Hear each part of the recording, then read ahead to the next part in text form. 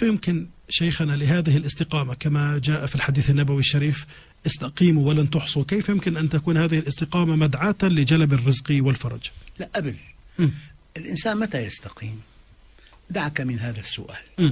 متى يقف على الإشارة الحمراء في السير في السيارة؟ أبسط قضية. راكب سيارتك ماشي بالطريق إشارة حمراء.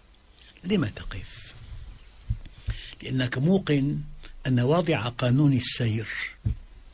من خلال هذا الشرطي أو هذه الآلة التصوير الكاميرا. نعم.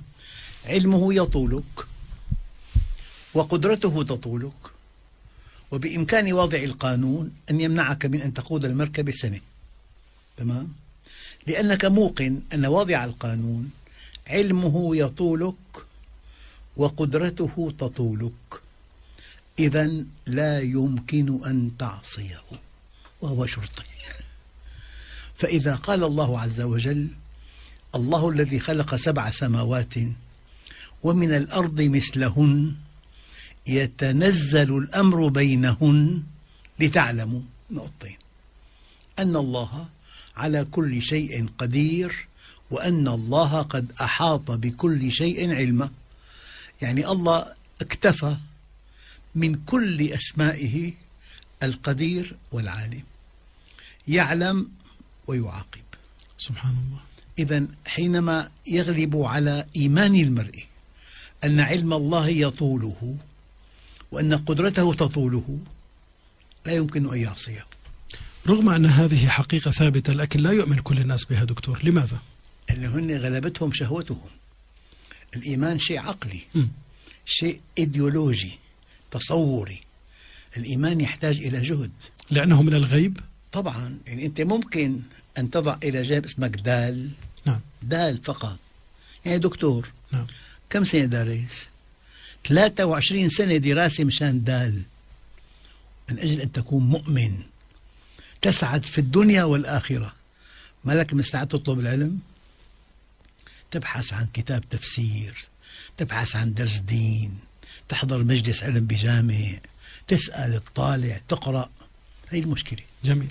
إذا وجود الله سبحانه وتعالى وإحاطته للبشر علما هي قضية ثابتة لكن يبدو لأنها غيبية يعني لا يوجد لها علامات أو دلالات صريحة مباشرة فأنت لا ترى الله في هذه الدنيا فيبدو بعض الناس إن غلبته شهوته أعمت عقله عن التفكير بهذه الغيبيات أليس كذلك دكتور؟ لكن هو يعني الإنسان إذا وضع بطعام نفيس مادة سيئة مم. وأنت شفتها ما بتاكلها مهما كان طعام نفيس ومغري موضوع أنه أن تدرك الإدراك من صفات الإنسان. نعم.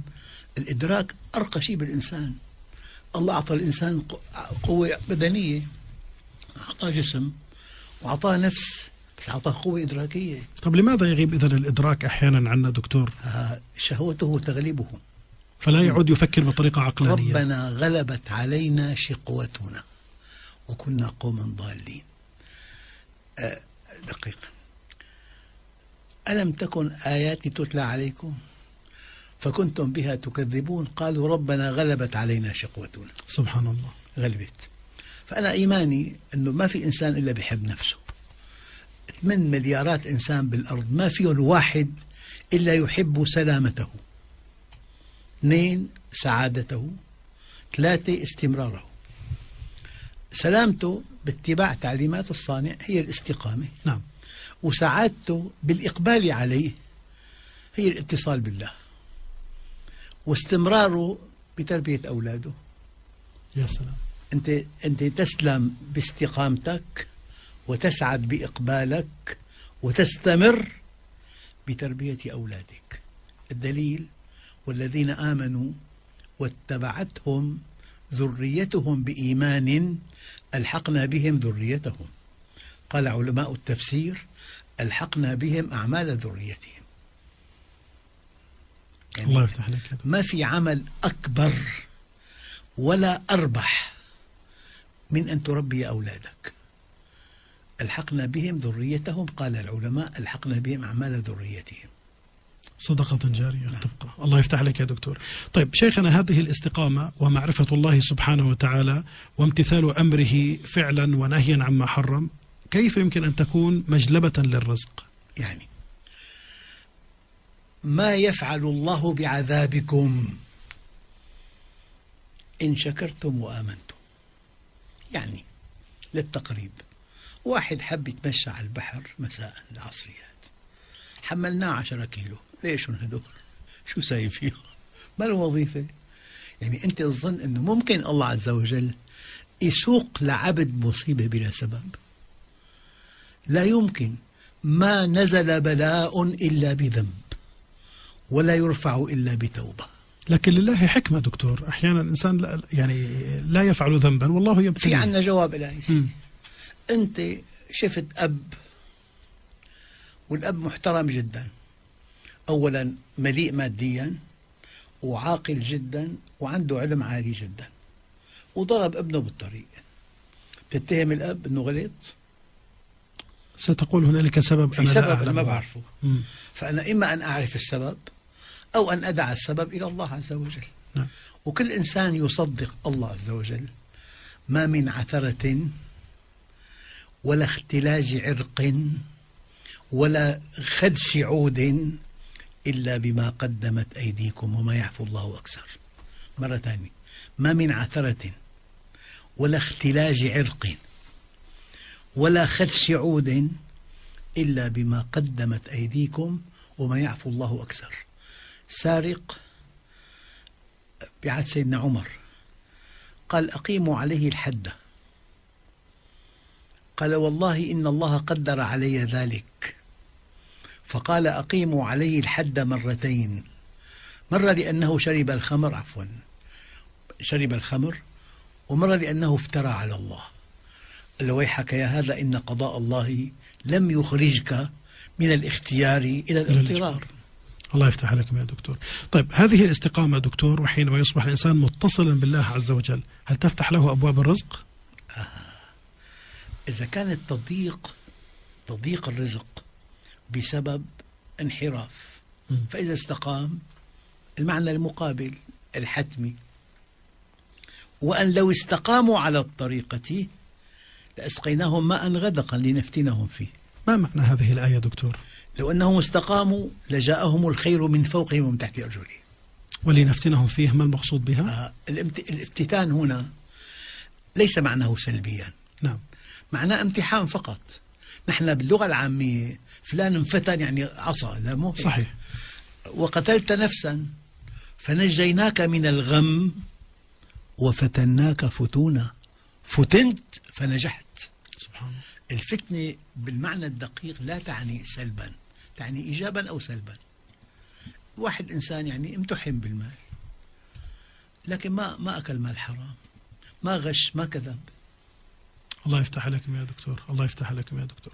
نستأذن فضيلتكم شيخنا الكريم مستمعينا الأكارم أن نقف إلى فاصل قصير ونعود معا بعد ذلك لنواصل حلقتنا وحديثنا عن الاستقامة مفتاح للرزق. فاصل ونعود بحوله تعالى على حياة اف ام فابقوا بالقرب. مستمعينا الأكارم من جديد وعلى الهواء عبر أثير إذاعتكم حياة اف ام مع فضيلة العلامة الأستاذ الدكتور محمد راتب النابلسي. حديثنا لهذا اليوم الاستقامة مفتاح الفرج.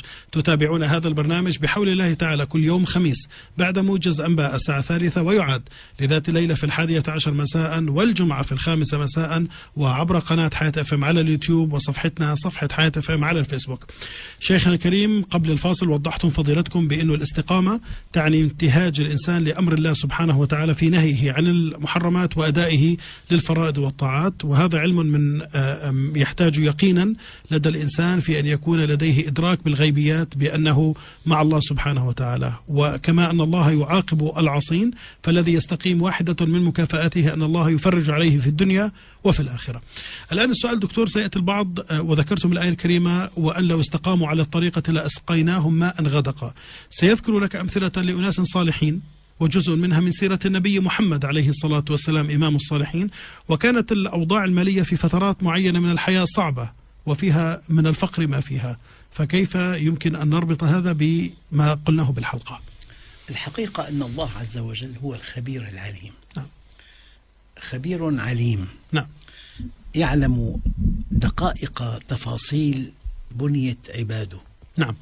فالذي يصلحه الغنى يغنيه. إن من عبادي من لا يصلحه إلا الفقر. فإذا أغنيته أفسدت عليه دينه. سبحان الله. وإن من عبادي من لا يصلحه إلا الغنى. ما إلا الفقر. فإن أغنيته أفسدت عليه دينه. هذا شغل خبير بقى صار علم ما كان وعلم ما يكون وعلم ما سيكون وقف وعلم ما لم يكن لو كان كيف كان يكون. يعني إذا كان رأيت ابن يعاقب ابنه بالطريق وهو من كبار الشخصيات وعنده علم كبير وغني تقول لعل في شيء ما بعرفه أنا. لازم تسلم. لو كل شيء واضح وضوح الشمس العبادة ما عندها قيمة الله وكيلك. نعم. لو كان كله واضح لو فرضنا أن لواحد ادفع مية خذ ألف حتلاقي طابور مية كيلومتر طوله. لكن ممكن تطيعه لفترة طويلة ما تلاقي شيء. هنا أثبتنا الاختيار. لو كان العقاب يأتي عقب الذنب والثواب عقب العمل الصالح التغى الاختيار. الله بده إنسان يحبه له. بده إنسان صادق مخلص. ونعم. لذلك تستقيم وفي متاعب بالحياة تستقيم وما تغير شيء بدخلك تستقيم. أنت إما أن تعبد الله وإما أن تعبد المال. فإذا عبدت الله لا, لا تهتم بالنتائج. إذا تشعر بالطمأنينة والرضا سواء كان المال وفيرا أو نعم، قليلا. أو قليلا. هذا شأن الله عز وجل. الإنسان عصى الله قد ما كان قوي وذكي وغني. وسيارتين ثلاثة وبيتين ثلاثة نعم. وشيء على البحر وشيء نعم. بالجبل وف- وولائم وسهرات ولقاءات. عنده قلق عام. في قلق يعني في مكان بالإنسان بكيانه. هذا للإيمان. هذا الكيان القليل ما لم يغطى بمعرفة الله في قلق دائم. نعم. وقلق متنامي مع العمر. نعم. لذلك إذا أردت الدنيا فعليك بالعلم وإذا أردت الآخرة فعليك بالعلم وإذا أردتهما معا فعليك بالعلم. الله يفتح لك. والعلم لا يعطيك بعضه إلا إذا أعطيته كلك. فإذا أعطيته بعضك لم يعطيك شيئا. ويظل المرء عالما ما طلب العلم. الله يفتح لك. فإذا ظن أنه قد علم فقد جهل. الله يفتح لكم يا دكتور. بداية ننوه المستمعين الأكارم الراغبين بالمشاركة الهاتفية معنا على أرقام الإذاعة 06516 4020 06516 5020 وأيضا 06516 2060 ومن خارج الأردن بإضافة مفتاح المملكة الأردنية الهاشمية 00962 6516 4020 وأيضا 00962 6516 5020 برجاء أن تقتصر المشاركات على موضوع الحلقة بعيدا عن الفتاوى.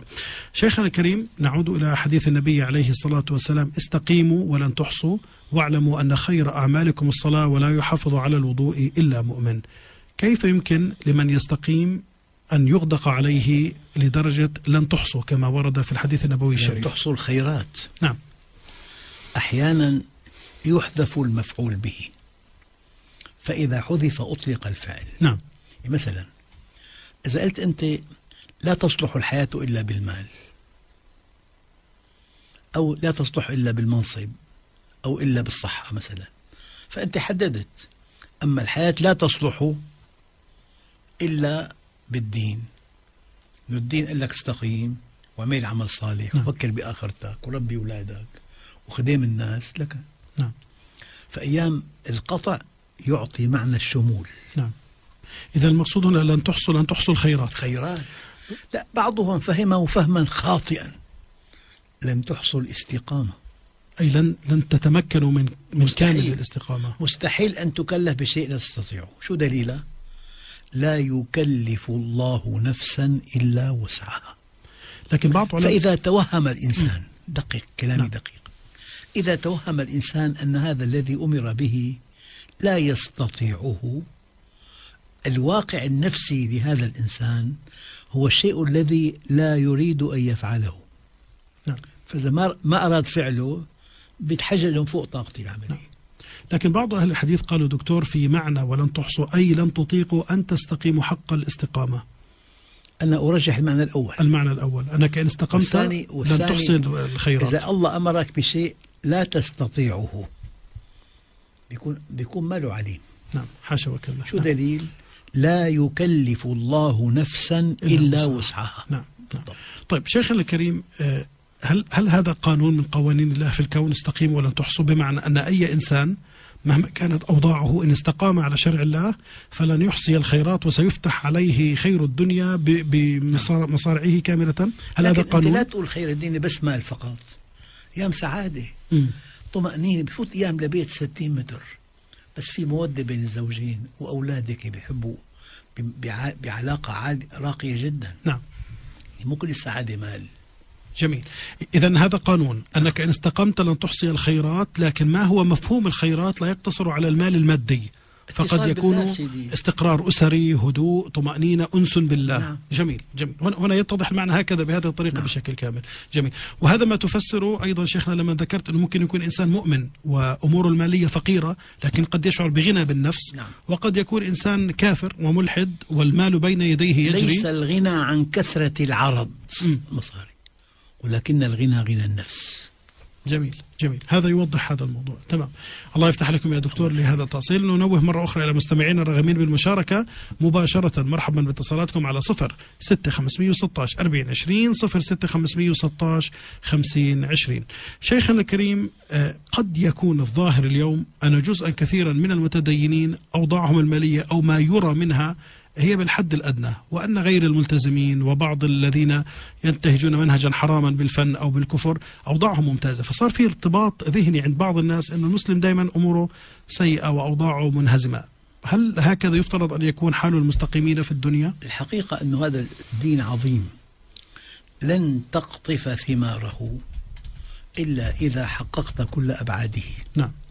يعني هو ما دام عرف الله واستقام على أمره وأحسن إلى خلقه. بده يجيب الجواب الإلهي بقى. أفمن كان مؤمنا كمن كان فاسقا لا يستوون. نعم. أفمن وعدناه وعدا حسنا فهو لاقيه. كمن متعناه متاع الحياة الدنيا. يعني هل يستوي الذين يعلمون والذين لا يعلمون؟ أنا لي اجتهاد. نعم. أن يستوي المستقيم مع المنحرف. أن افتراضا والصالح مع الطالح والكريم مع البخيل نعم. والمنضبط مع طب المتفلت ما المقصود هل يستوي دكتور عفوا هنا؟ يتساويان يعني. يعني لا يتساويان مكانة عند الله. مطلقة. نعم. أن يستوي المحسن مع المسيء والصالح مع الطالح والمستقيم مع المنحرف والكريم مع البخيل والمت... والتقي مع المتفلت. أن يستويان هذان النموذجان هذا لا يتناقض مع عدل الله نعم. ولكن يتناقض مع وجوده. والعياذ بالله. أبلغ في الثاني. يتناقض مع وجوده. فاذا لا يستوي. أبدا. المحسن والمسيء. أفمن كان مؤمنا؟ كمن كان فاسقا. لا يستوون. أم حسب الذين اجترحوا السيئات أن نجعلهم كالذين آمنوا وعملوا الصالحات سواء محياهم في الدنيا. سبحان الله. ومماتهم ساء ما يحكمون الآن. أفمن وعدناه وعدا حسنا فهو لاقيه. كمن متعناه متاع الحياة الدنيا ثم هو يوم القيامة من المحضرين.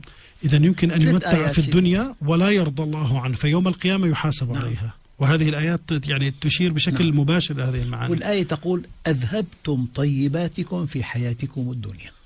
سبحان الله واستمتعتم بها. سبحان الله أما القيامة مسألة أخرى. أبدا. الله يفتح لك يا دكتور منذر تفضل معنا باتصال هاتفي. أهلا السلام عليكم وسهلا ورحمة الله وبركاته. وعليكم السلام ورحمة الله. أنا أحكي مع فضيلة الدكتور؟ بارك الله فيك ونفع الله. نعم. حياكم دكتورنا. الكريم الله يكرمك ويرضى عنك إن شاء الله. دكتور سؤالي هو هل الاستقامة أثر في باب الرزق؟ يعني إنسان على سبيل المثال آه، كان على حال مثلا المعاصي وكذا وإلى آخره من الأحوال بنمر فيها في حياتنا هذه الدنيا من تقلب النفس من تقلب القلوب. فاستقام على أمر الله عز وجل والله عز وجل بارك له في رزقه وأعطاه سبحان الله سعادة لا يعلم بها إلا الله عز وجل وأعطاه زوجة صالحة. هل الاستقامة أثر على الإنسان أنه تبدل حياته مثلا لأنه قبيل شهر آه، خلال. أقل من دقيقة ابتليت في أمر. فسبحان الله زدت من الطاعة إلى الله عز وجل والدعوة إلى الله عز وجل، فالله عز وجل فتح علي باب سبحان الله وف... من خلال الدعوة إلى الله عز وجل. تعليق من فضيلتك. بارك الله فيك. طيب، شكرا والله منذر. الذي لا إله إلا هو. لا يمكن أن تتعرف إلى الله المعرفة المقبولة وأن تستقيم على أمره وأن تحسن إلى خلقه. ولا تقول ليس على وجه الأرض من هو أسعد مني إلا أن يكون أتقى مني. سبحان الله. هي حقيقة دامغة ساطعة واقعة. نعم. أنت اتصلت بالله أصل الجمال والكمال والنوال. ونعم بالله. اتصلت بالله الفعال. الله فعال. في أشخاص قوالون بس مو فعالين. اتصلت بخالق الأكوان. اتصلت بالجميل بالجليل بالقوي. بالعدل بالمريد. وبتقول أنا عندي مشكلة. إن لم تقل ليس على وجه الأرض من هو أسعد مني إلا أن يكون أتقى مني. النبي ما كان بغار ثور وغار حراء ما كان ملاحق. ما قال أوذيت في الله وما أوذي أحد مثلي وخفت في الله وما خاف أحد مثلي ومضى علي ثلاثون يوما لم يدخل جوفي إلا ما يواريه إبط بلال. وانت شو بتقول بالصلاة؟ وعلى أسعدنا محمد. صلى الله عليه وسلم. كان سعيد جدا. سبحان سعيد بلقاء الله.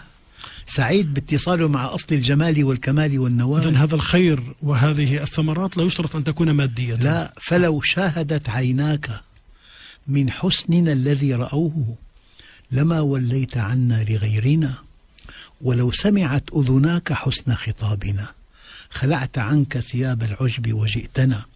ولو ذقت من طعم المحبة ذرة عذرت الذي أضحى قتيلا بحبنا.